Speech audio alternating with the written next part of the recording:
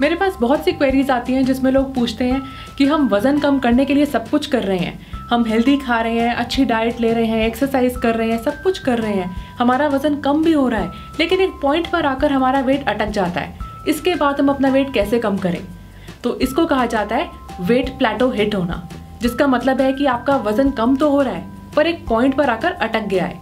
अब उसको कैसे शेक करना है, इसके लिए मैं आज आपको एक सोल्यूशन देने वाली हूँ। आज हम बात करेंगे एक ऐसी डाइट की, जो आपके रुके हुए वज़न को भी हिला देगी और उसके बियॉन्ड भी आप वेट कम कर पाएँगे। आज मैं बात करने वाली हूँ इंटरमीडियंट फास्टिंग के बारे में। ये आपने आजकल दोस्तों से सुना होगा या आप जिम जाते हैं तो वहाँ सुना होगा, बहुत लेटेस्ट ट्रेंड है आजकल और बहुत से लोग इसे फॉलो कर रहे हैं।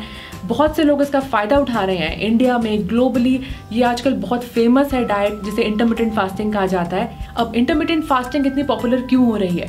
इसके फैट लॉस रिजल्ट्स बहुत ही मैजिकल हैं। ये जो ब्लड शुगर लेवल्स है, इसको इम्प्रूव करती है, इसको कम कर सकती है, आपका कॉन्सेंट्रेशन बढ़ाती है, आपका एक्टिविटी लेवल और इम्प्रूव करती है। जो एजिंग का प्रोसेस है, उसको रिवर्स कर सकती है और यहाँ तक कि कैंसर को भी ठीक कर सकती है।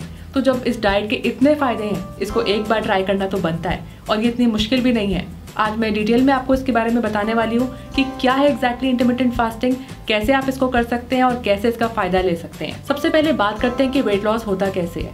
तो ये सारा कैलोरीज का गेम है बेसिकली जितनी कैलोरीज आप खा रहे हैं, अगर आप उसे ज़्यादा बर्न कर रहे हैं, तभी आपका वज़न कम होगा। आपको इनटेक कैलोरीज का कम करना है। जो आप नॉर्मल खाते हैं, जो आप नॉर्मल कैलोरीज पूरे दिन में खा रहे हैं उससे कम कैलोरीज अगर आप खाएँगे और ज़्यादा बर्न करेंगे, तभी वज़न कम होगा। और यही सिंपल सा रूल है इंटरमीडियंट फास्टिंग का भी। ये बहुत तरह से हो सकती है। कई लोग ऑल्टरनेट डे करते हैं इसको। कई होते हैं, आपने बहुत से नाम सुने होंगे। सिक्सटीन इस टू एट आपने सुना होगा फोर इस टू थ्री सुना होगा फाइव इस टू टू सुना होगा। ये सब तरह तरह के इंटरमीडियंट फास्टिंग के तरीके हैं। लेकिन जो आज मैं बात करने वाली हूँ, वो है सिक्सटीन इस टू एट जो मैंने खुद भी ट्राई किया है और मुझे खुद भी इसका बहुत फ़ायदा हुआ है और ज़्यादातर लोग ये वाली डाइट से फ़ायदा ले रहे हैं। तो क्या है एग्जैक्टली इंटरमीडियंट फास्टिंग इसमें दो विंडोज़ होती हैं। एक होती है फास्टिंग विंडो एक होती है फीसटिंग विंडो फास्टिंग का मतलब है कि आपने इतने घंटे फास्टिंग करनी है और फीस्टिंग का मतलब है कि आपने इतने घंटे खाना है अच्छा खाना है। तो अच्छा खाने का मतलब है हेल्दी खाना है। अगर आप हेल्दी खाएँगे तो आपको बहुत अच्छे रिजल्ट्स मिलेंगे। तो अगर आपने कभी भी इंटरमीडियंट फास्टिंग ट्राई नहीं की है तो आप टेन आवर विंडो से स्टार्ट करें। दस घंटे आपने कुछ भी नहीं खाना है और दस घंटे की फास्टिंग के बाद आप अपने नॉर्मल मील्स ले सकते हैं। तो उसको शुरू कैसे करना है? रात को अगर आपने अपना डिनर थोड़ा अर्ली कर लिया, मान लीजिए सात बजे, आठ बजे आपने डिनर ख़त्म कर लिया तो अब रात के आठ बजे से सुबह के आठ बजे तक आपने कुछ नहीं खाना। तो ये हुई आपकी बारह घंटे की विंडो अगर आप दस घंटे से स्टार्ट करना चाहते हैं तो उसको दो घंटे कम कर लें।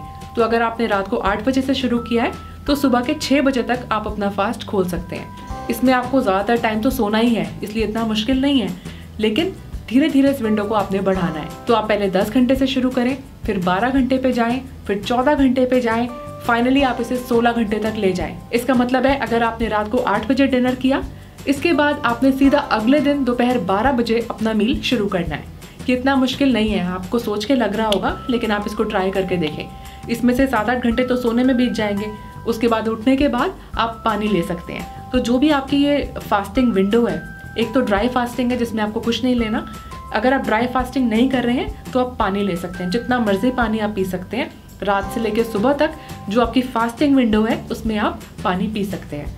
अब बात करते हैं आपकी फीसटिंग विंडो की। दो बजे के बाद क्या खाना है? जब आप फास्ट खोलेंगे तो आपने पानी पीना है लेमन वाटर से खोलें, उसके बाद आप फ्रूट्स खाएँ और फिर अपने मील्स शुरू करें। तो आप उस विंडो में कुछ भी खा सकते हैं। रिकमेंडेड है आप हेल्दी खाएँ। अगर आपको वेट लॉस करना है, आपको अच्छे रिज़ल्ट चाहिए, जल्दी रिज़ल्ट चाहिए तो उसमें भी आप हेल्दी खाएँ। आप चाहें तो उसमें भी दो दो घंटे वाला, जैसे आप मेरी पहले डाइट्स फॉलो करते आए हैं, वही फॉर्मेट आप फॉलो कर सकते हैं। हर दो घंटे में आपने कुछ ना कुछ खाना है। तो ये डाइट का जो प्रिंसिपल है, ये काम क्या करती है, कैसे काम करती है, वो ये है कि कैलोरी इनटेक आप कम कर रहे हैं। तो पूरे दिन में आप कितना खा रहे हैं? आप आठ घंटे ही खा रहे हैं। तो नेचुरली जितना आप पहले पूरे दिन में खाया करते थे, अब आप सिर्फ़ आठ घंटे में खा रहे हैं। तो इसलिए आप उतना नहीं खाएँगे जितना कि आप पहले खा रहे थे। इसी से आपका कैलोरी इनटेक जो है वो कम होगा और इसी से आपका वेट लॉस होगा। दूसरी चीज़, जब हम 12 घंटे या 16 घंटे का गैप दे देते हैं खाने में तो हमें डाइजेशन का टाइम मिलता है। हमारी बॉडी को, हमारी बॉडी के फ़ंक्शंस और अच्छे से स्मूथली काम करते हैं, क्योंकि डाइजेशन को अपना काम करने का टाइम चाहिए। और जब हम फ्रीक्वेंट मील्स खाते रहते हैं, हर दो घंटे में कुछ ना कुछ खा रहे हैं तो हमारे डाइजेस्टिव सिस्टम्स कहीं ना कहीं वीक हो जाते हैं और डाइजेशन प्रॉपरली कर नहीं पाते। तो जब 12 घंटे का उनको एक रेस्टिंग टाइम मिलेगा तो वो सारे फ़ंक्शन स्मूथ हो जाएँगे और हमें भी अच्छे रिज़ल्ट मिलेंगे। तो बेसिकली इस तरह से काम करता है इंटरमीडियंट फास्टिंग आप इसको ट्राई ज़रूर करके देखें, इसके बहुत से फ़ायदे हैं। मैंने भी इसे ट्राई करा है और मुझे भी इसके बहुत अच्छे रिज़ल्ट मिले हैं। जो मेरे पास कस्टमर फीडबैक आता है, उन्होंने कुछ चीज़ें मुझसे शेयर करी। पहली चीज़ तो ये है कि आपका पानी का इंटेक बहुत अच्छा बढ़ जाता है। जो लोग बहुत ज़्यादा पानी नहीं पी पाते हैं वो इसमें, क्योंकि आपको 8 से 10 से 12 घंटे जो है कुछ नहीं खाना है तो जब भी आपको भूख लगेगी, आपके पास पानी का ही ऑल्टरनेट है, आपको वही पीना है तो पानी का इंटेक आपका बढ़ जाता है, जो कि एक अच्छी चीज़ है आपकी बॉडी के लिए। एक तो ये हुआ। दूसरी चीज़, जिनको बिंज ईटिंग की आदत है, जो लोग रात को कुछ भी खाते हैं या जंक खाते हैं, या आप पार्टीज़ में जाते हैं रात को, आप कुछ भी जंक खाते हैं या बाहर का खा लेते हैं, आप इस चीज़ से बचते हैं। आपने आठ बजे तक, नौ बजे तक अपना डिनर ख़त्म कर लेना है। इसका मतलब है कि आपने उस टाइम तक जो भी खाना है, आप तभी खाना है, उसके बाद आपने कुछ नहीं खाना है। तो अगर आप बाहर जा भी रहे हैं तो आपने अपने आप को कंट्रोल करना है कि आपने कुछ नहीं खाना, अगर आपको अच्छे रिज़ल्ट चाहिए। तो ये एक फ़ायदा है इसका कि आप कुछ भी जंक खाने से बचेंगे। उसके बाद आप मॉर्निंग टी पीने से बचते हैं। जब आप अपना अगला मील ही सुबह बारह बजे लेंगे या दो बजे लेंगे तो नेचुरली आप कुछ प्रॉपर मील खाना चाहेंगे, आप अच्छा ब्रेकफास्ट या अच्छा लंच लेना चाहेंगे, ना कि चाय से दिन शुरू करेंगे। तो एक तो जो चाय में कैलोरीज हैं या जो चाय के नुकसान हैं, आप उससे बचेंगे। उसके बाद जो चाय के साथ आप स्नैक्स खाते हैं, आप उसकी कैलोरीज से बचेंगे। तो ये कुछ चीज़ें हैं जो आप नोटिस करेंगे। उसके बाद आप देखेंगे, आप बहुत एक्टिव महसूस करेंगे।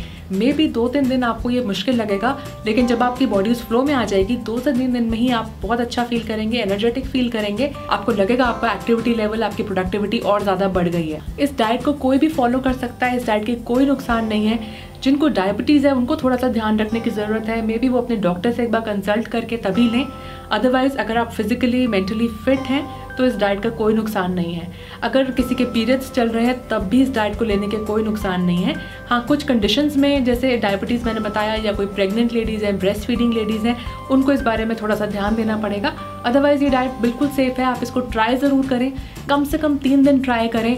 अगर आपको लगता है कि ये आपको फ़ायदा हो रहा है, आप कर पा रहे हैं तो इसको एक लंबे टाइम तक करें। आपको रिज़ल्ट इतनी जल्दी नहीं मिलेंगे। एक महीना, दो महीना, तीन महीना इसको करिए, तभी आपको अच्छे रिज़ल्ट मिलेंगे, अगर आप वेट लॉस टारगेट कर रहे हैं। और अदरवाइज़ uh, भी वेट लॉस नहीं भी टारगेट कर रहे जनरली अच्छी हेल्थ चाहते हैं तो ये बहुत अच्छा लाइफ स्टाइल रूटीन है।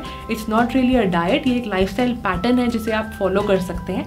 इसका कोई नुकसान नहीं है और आपको सिर्फ़ फ़ायदा ही होगा। अगर आज की वीडियो आपको अच्छी लगी हो तो इसे लाइक करें और अगर यूज़फुल लगी हो तो ज़्यादा से ज़्यादा शेयर भी करें।